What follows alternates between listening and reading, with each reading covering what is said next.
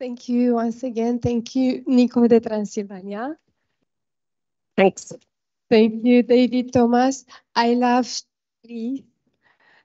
And now I love Nico de Transilvania and I love all the project about uh, landscape and forest and trees. And I'm uh, I want to thank you once again that we talk today about this important thing in an important house, Université Libre de Bruxelles. Thank you for being here, and I hope you will uh, come again.